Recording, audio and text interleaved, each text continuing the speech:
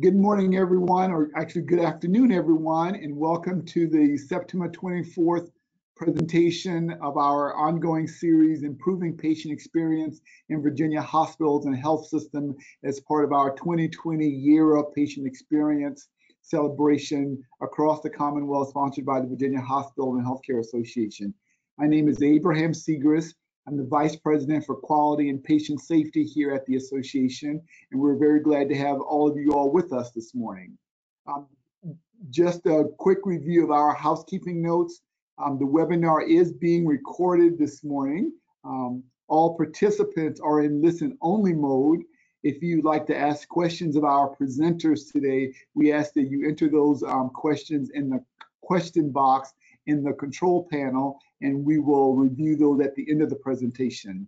Um, the slides for this morning are not available in the handout section, but we will make them available on our website following the presentation.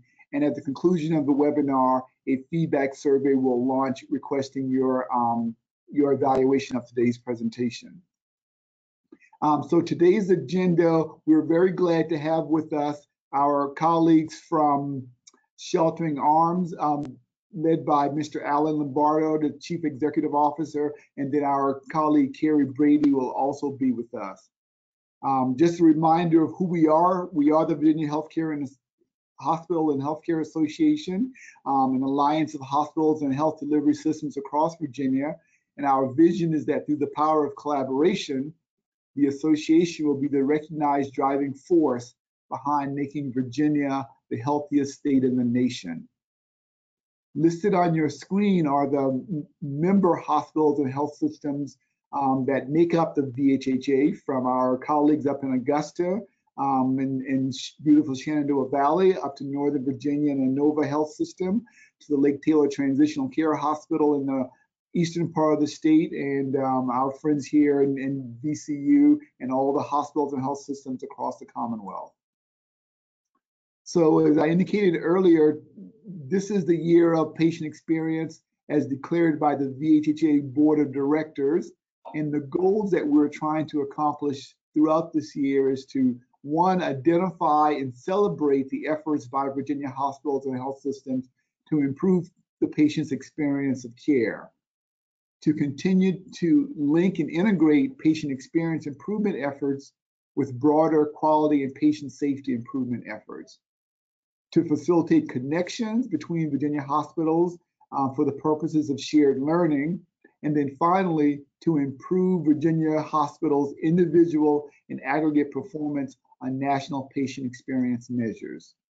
So without further ado, I'm actually going to turn the presentation over to Mr. Alan Lombardo. Um, and Alan, I really apologize. I left the O off the end of your name. I just recognized that. Um, so my apologies for that um, typo on the on the screen.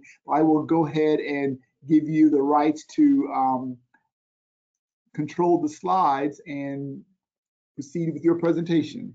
Thank you very much for being with us, you and your your team. Thank you, Abraham. I'll, I'll take that as a subtle hint to keep the presentation short, right? That, that's that's I really appreciate the opportunity. I want to thank Sean and Abraham, the entire leadership team at VHHA, uh, the opportunity today to share part of Sheltering Arms Institute's story with the rest of the Virginia hospitals and healthcare associations uh, is really an honor for us. I'd like to spend one minute and just introduce uh, uh the co-presenters that I have here today. So Mac McElroy is the president of Sheltering Arms Foundation. Honored to have him here with us.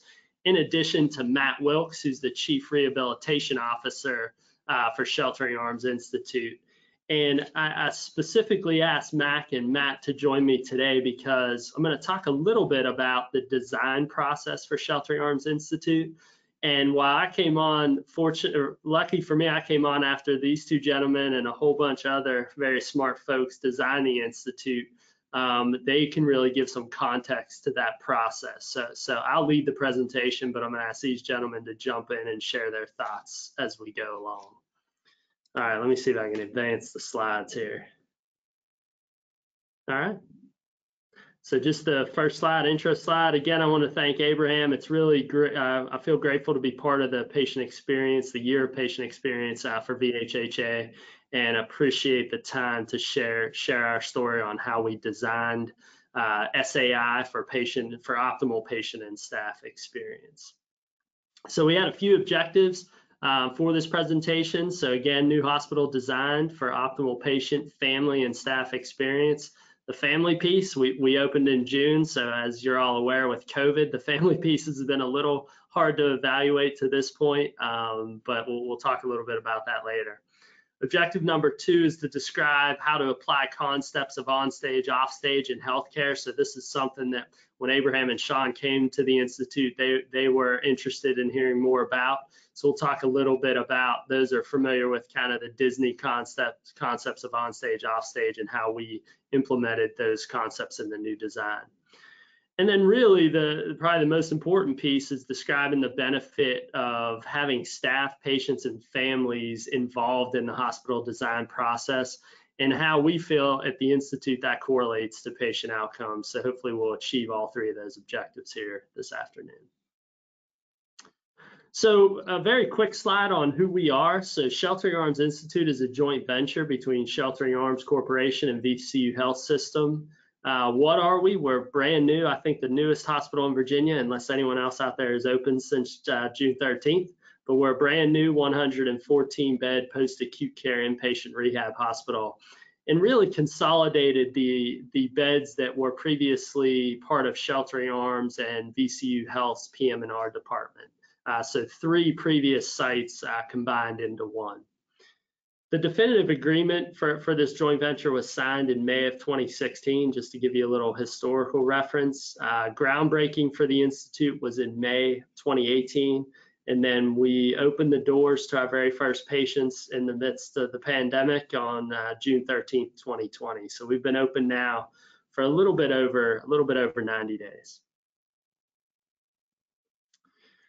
So a few um, just broad features about the building and campus itself, just to give you a frame of reference as we go through some of the details. But we are on a 46 acre campus and we are located just west of Short Pump on the inside the eastern edge of, of Goochland County. Um, we do have 114 uh, very spacious private patient rooms, all with their, their own bathroom. We host probably the largest amount of high-tech rehab gym space in the Commonwealth. So we have over 10,000 square feet of high-tech rehabilitation gym space, and we'll talk about a little bit in detail, go into some of that.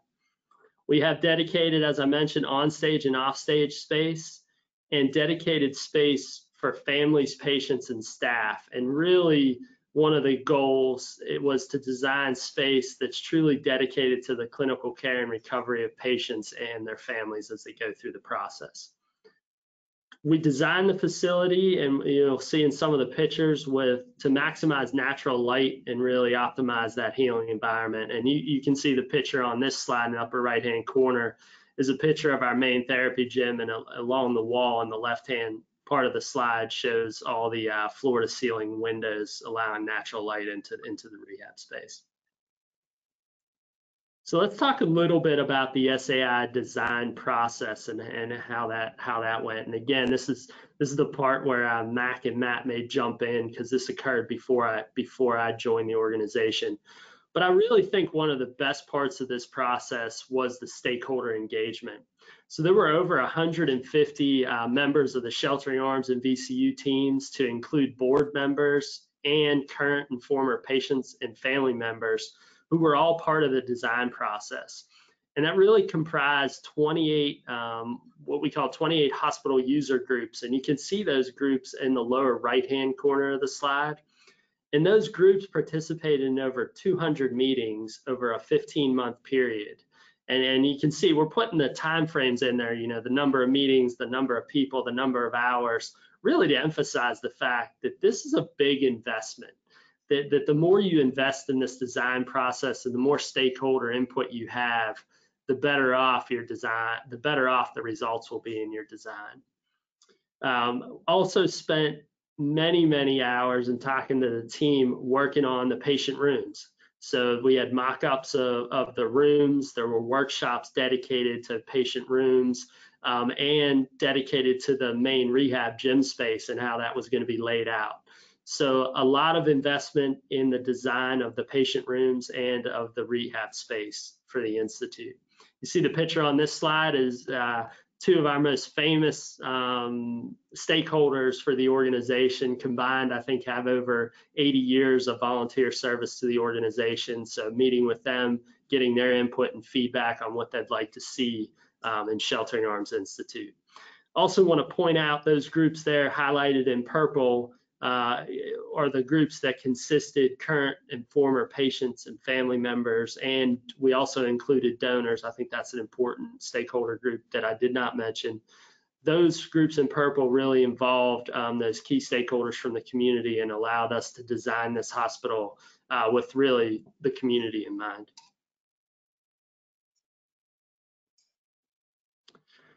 So uh, other than stakeholder engagement, I think the next important piece to talk about is leadership engagement. So how as a leadership team were we kept apprised of the process and how did we align the strategic goals for the design of Sheltering Arms Institute to ensure that those that those work groups produced a result that that really produced um, the most effective utilization of the space and the most effective utilization of our resources to deliver uh, optimal optimal hospital experience for our patients and staff. So we had really two big committees, steering committee and our owner um, architect construction committee, the OAC committee, which really guided the process from a high level um, and really guided the design and construction process to ensure that we delivered optimal results. Alan, can I can I interject one point um, here? I think it's important for the audience to know that the average length of stay at Sheltering Arms and at VCU uh, rehab unit is much longer than um, you would typically see amongst our acute care partners. So it's about two weeks.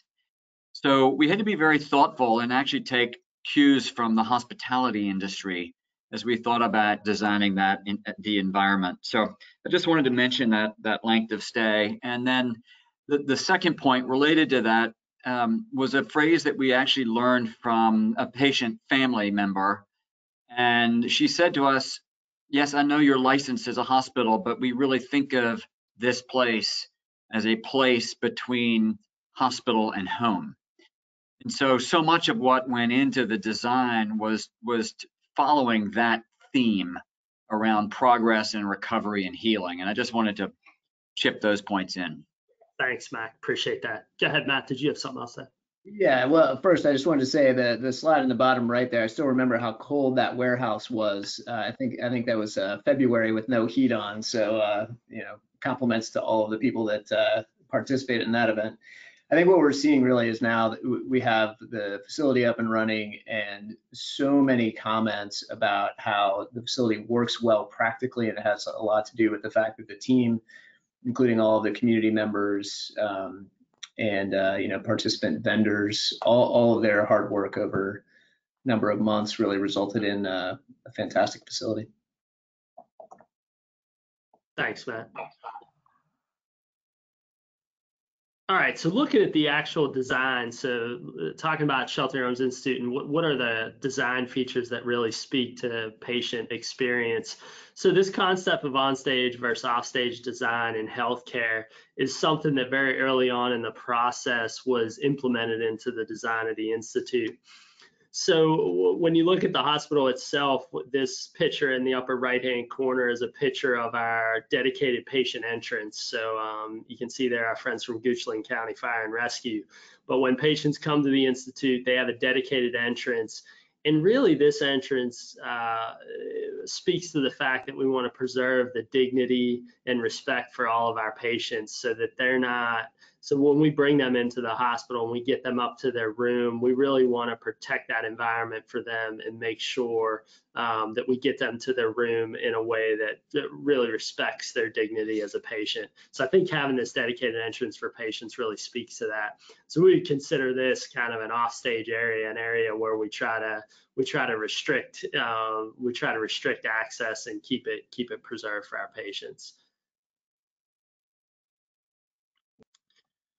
And then if you kind of, and I know this is a busy slide, so I'll talk through this a little, a little slower, but when we think about on stage and you flip the building around and look at the main visitor entrance, uh, kind of to the front face of the building, it's a very open um, space. So again, lots of floor to ceiling windows, lots of natural light, wide open space. And the picture there in the lower left corner is the picture of our main lobby. So when folks come in, again, it, it's a very warm and welcoming environment. And that's really where we want our visitors. And, you know, someday we'll hopefully be fully open to many more visitors. But uh, right now, this is where this is where our family members who are approved for visitations enter the building. So again, we consider that really an on-stage space. Um, and then in the upper right-hand corner of this slide, I kind of take you in the building. Um, so from that offstage patient entrance space, patients come into the building and then those arrows really direct you to where they would get to the dedicated patient service elevator. So the patient patients have dedicated elevator to get them up to their room again to try to do that in a way that that really honors and respects their dignity and privacy. And that part of the building is, secured off so there are no other visitors uh, walking through that area. It's just staff and patients if we take that concept of on stage, off stage a little bit further, uh, you look at our patient units. So this is one of our patient units as we move up to the either the second or third floor, they're mirror images. But on the on the floor itself, there's an offstage corridor that connects to those service elevators in the in the center of the building and it really allows us to do all the logistical offstage work. So for transporting linens or food or um, trash, we can do that in a way that that's part of the offstage work that we do. So you can see that offstage corridor that goes directly through the core of the unit.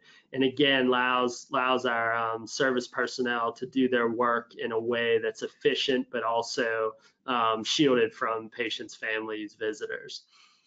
And then this really opens up the onstage corridor. So you can see the onstage corridor highlighted in orange there. And really that space is dedicated for therapy, right? So we view our hospital as a therapeutic tool to deliver the best, the best care for our patients, leading to optimal outcomes. So that onstage corridor really allows us to live, deliver therapy, um, nursing care, medical care in that space, and also a space obviously for family members and visitors. In terms of the, just to jump in real quickly again, in terms of the patient experience, one of the things that this design theme that Alan has just gone through in the last couple of slides has helped to produce is extremely quiet and restful units. Um, so all the activity that needs to happen is purposeful.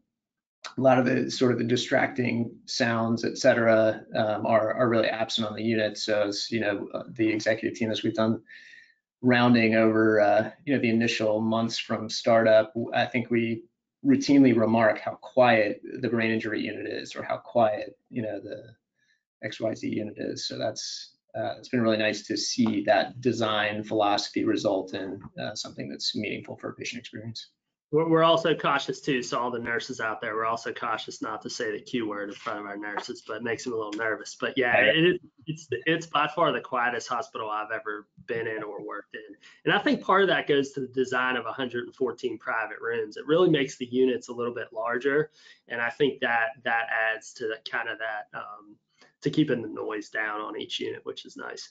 So now we're going to look at the influence of having patients, families families and staff on your design process. Shockingly, right? When you include patients, staff, and family members in your design, you end up designing a hospital for patients, families, and staff members, right? So that's, that's probably not surprising. But I highlight the staff member experience just for a minute here. So we do have six staff break rooms, and that picture on the lower right-hand corner of the slide deck you can see all the window having windows alone for a staff break room is a nice feature um, so we have windows, uh, we have refrigerators, microwaves, all the things, coffee, coffee makers, you know, everything that staff want and need in a break area. Um, and having six dedicated break rooms for them really is a nice touch. It's a nice way to really show them uh, how much how much their work means to us in this environment. Uh, free parking, yeah, that it's the little things, right? Having free and abundant parking is probably no small thing actually to staff. So it's great to be able to offer those type of features um, to to a facility design. And I would think the uh, the other important thing that our staff are really excited about is we made a significant and conscious investment in clinical technology to support um, evidence-based clinical care. We won't have time to go through all of it today, but I'll touch on a few things that we were strategic about.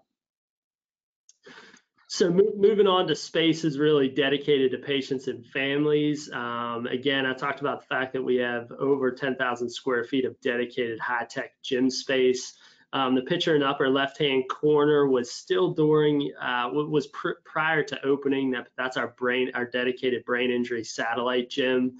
Uh, more equipment in there today than when this picture was taken. Um, the other thing I'll point out, as you can see in the left left part of that picture, there's a patient in the hallway using a body weight support system. So we also, in talking about having therapy on the units, we're also able to offer therapy to patients on the unit. So we have dedicated body weight support systems on all four of our inpatient rehab units, which is fairly unique in the rehab and hospital environment. So it was a way for us to differentiate ourselves. Dedicated family slash visitor rooms on each unit. So the picture in the bottom left-hand corner of your slide is one of those dedicated family rooms, which we have on each unit. Again, this was based on feedback we received from, from prior patients and family members about having dedicated space outside of the patient room, truly dedicated for them where they can go have some downtime um, or visit with a patient or loved one. And then on the upper, kind of in the middle of the slide, there's our activity of daily living suites, our ADL suite and uh, again to utilize technology to to really uh, propel our patient outcomes we put a body weight support system that goes from our main gym all the way into our adl suite so that we can integrate that uh, walking or ambulation training into functional tasks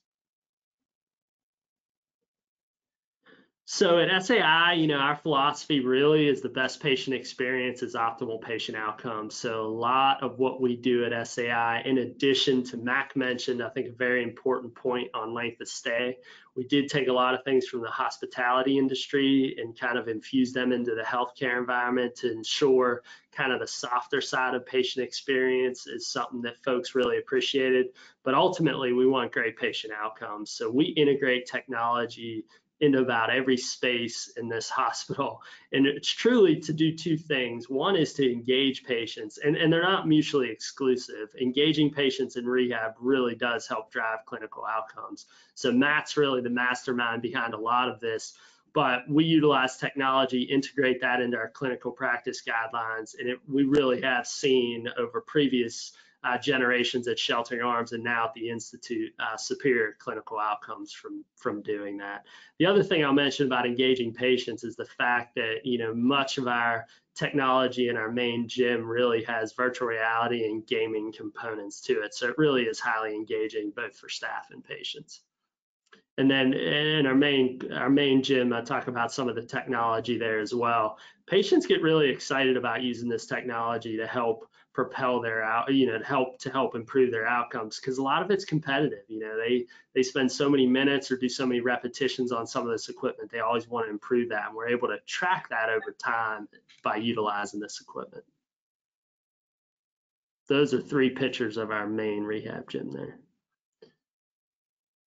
all right, I want to get to the patient rooms uh, quickly. I know we only have a few minutes left, but there was a lot of time in our design process spent on patient rooms. Uh, we know this is a big either point of satisfaction or dissatisfaction among patients. You can see the picture here. One of the one of the best things about our patient rooms, I think, is the windows. We have a ton of natural light um, if patients want it uh, coming in their rooms. Um, we also design each each hospital room is about 235 square feet. Uh, again, all have their own private bathrooms. We've designed the hospital also to have lift systems in almost every patient room. We're able to move uh, the motors for those lift systems into other patient rooms to allow our staff and patients to be safe during their during their transfers. We also, you'll notice the color of the linens on the bed. That that is on purpose. Those aren't dirty sheets. Uh, we partner with a local company called Cupron, and they uh, supply these copper infused linens.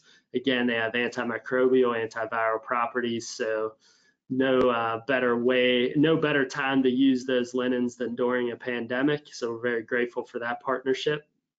We also, in the back there, you kind of see that long lounge uh, couch that does fold out into a, into a twin size mattress that allows our family members to spend the night with their loved ones.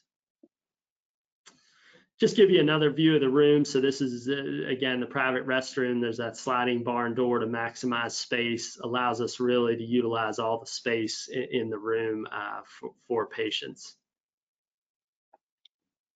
Hey, Alan, it, it, may be worth noting that um, well before any of us had heard of COVID, we did design eight isolation negative pressure rooms. Um, so they are they are throughout the facility as well. Thanks, Mac. I wanted to talk a minute about a patient interactive platform that we utilize at Shelter Arms Institute. Um, this is a system I used in my previous career at the VA healthcare system, but GetWell Network has been our partner to deliver really a, a kind of next level patient experience for our patients at the Institute we use this tool really to empower patients to direct their care and to achieve their goals. So just a few things we can do with this system. So you see kind of the screenshot. This is kind of the basic introductory screen that our patients see when they turn their TV on. Uh, they can see their daily therapy schedule, and this is integrated directly into uh, Cerner, our electronic health record. So it's automatically updated, and they can actually see a view of, I think, three days of therapy. So they see today and then plus the next two days, which uh, many of you know is quite a uh, it's a challenge for patients to keep track of therapy schedules. So it's nice to be able to display that in a very nice way in their room. They can patients can also provide us real-time feedback. So we're talking about patient experience. We will query them with questions through the Get Well network. And based on their feedback, this system also integrates directly with our um, Outlook system. So emails will be generated directly to the managers or supervisors responsible for those areas uh, based on feedback from patients. Again, it allows us in real time to do uh, service recovery for patients if there's an issue. They can see their medication lists, which is obviously very important for patient experience in the healthcare environment, often an area that's confusing for patients. They can order their meals um, and access their digital whiteboard, which allows them to know who their uh, physician, nurse, and therapists are for that day. And clinical staff also can order education and direct it to our patients through the Get Well network. So they order the education in our Cerner health record and it will push the educational videos directly to our patients in the Get Well network. When the patients watch those videos, um, it it documents it right back into their EHR. So again, from a patient experience standpoint, we uh, diminish the variation of having multiple different providers or clinicians deliver that education. So it offers a better experience for our patients. And then patient experience outcomes. So for us, as I mentioned, our philosophy is is great patient outcomes are the best experience. Uh, in SAI, we also uh, talk about having a culture of measurement and really trying to measure everything we do. So what are we doing currently from a patient experience outcome measurement standpoint? We've just kicked off our Press Ganey program. We do not have results yet for that. So, so you know, hopefully we'll have those results soon. I mentioned Get Well Network. So we really want the real time, not the retrospective feedback. So that real time feedback will allow us, again, to, if there are any service recovery issues, to address them immediately. Um, Matt and Mac mentioned executive rounding. We're spending a lot of time on the units, talking to patients and family members and staff as well our program leaders. So we have nurse manager and therapy therapy managers on each of our four units. They're also doing rounding and collecting collecting um, some preliminary data. And our quality team rounds on every new admission within the first 72 hours. So we're collecting that that um, that feedback as well. Uh, what are some of our initial outcome measures look like? So in rehab, you look at community discharge percentage. We're sitting um, significantly above the national regional average. Again, it's a small data set. We've just started. And also I would point out our functional outcome at discharge, which, which is a relative scale, is again significantly higher than the region and the nation. Uh, one, one quote I, I, added from a patient who came to uh, the Institute recently Uh, you know, it's kind of interesting to hear her feedback. She called the Institute a castle and she said she felt like a princess. So it was great to hear the positive feedback from patients even early on in the process.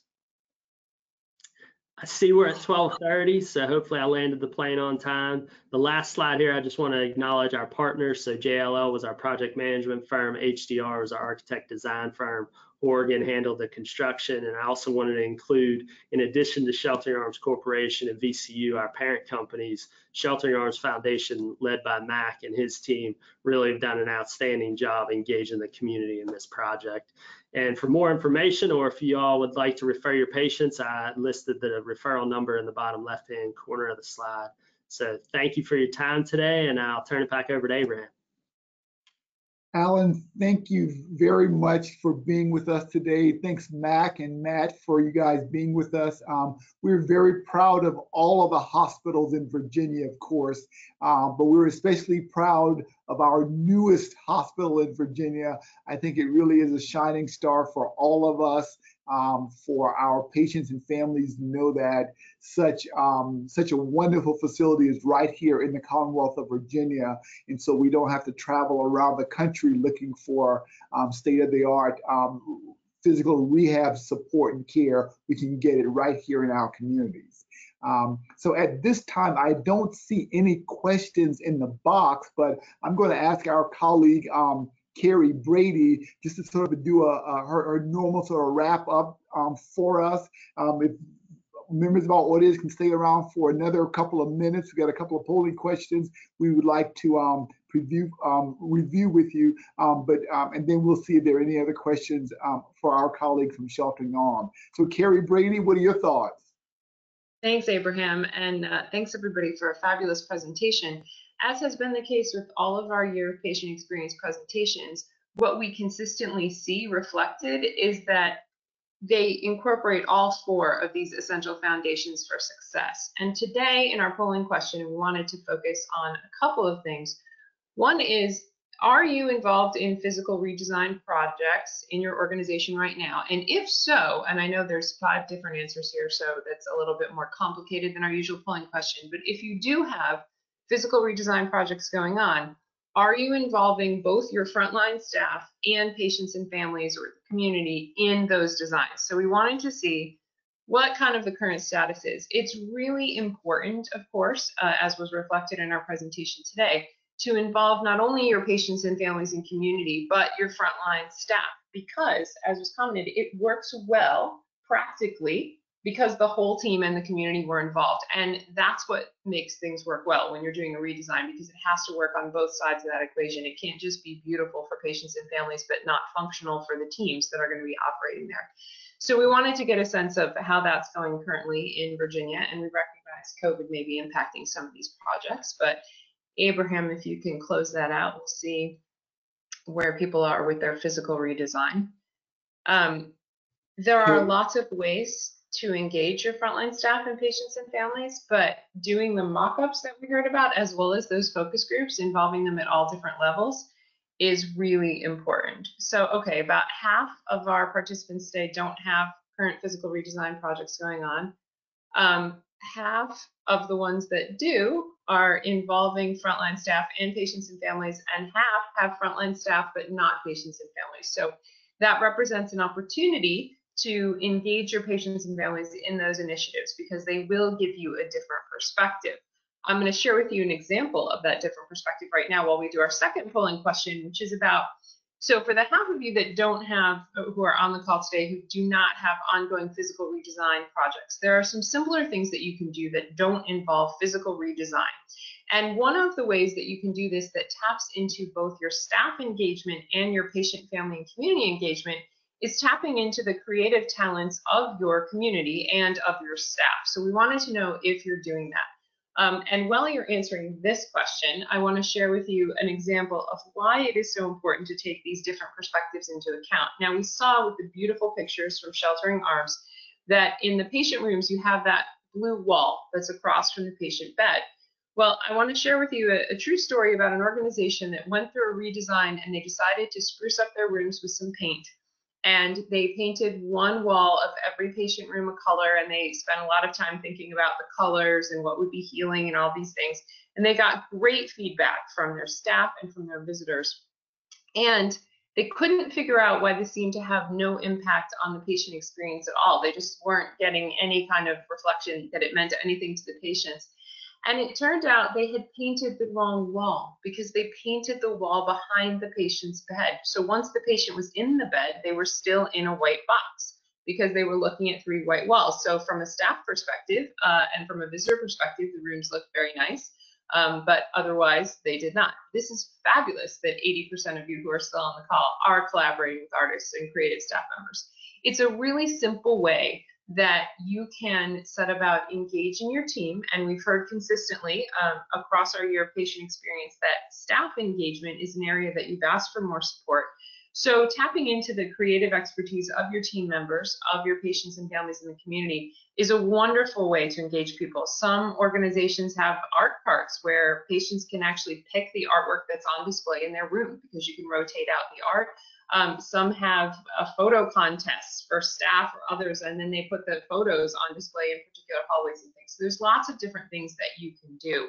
Um, and I know I, am going to ask the team from Sheltering Arms if they will share a story um, about bird feeders uh, that um, when we had our preparation call, this just really struck me as a really wonderful way of engaging the community. And it's something that stuck out to Abraham when he had the opportunity to visit Sheltering Arms. So um, Alan, Mac, or Matt, if one of you wants to, I think Mac, you're the one who's going to share that, right? Sure, be be happy to.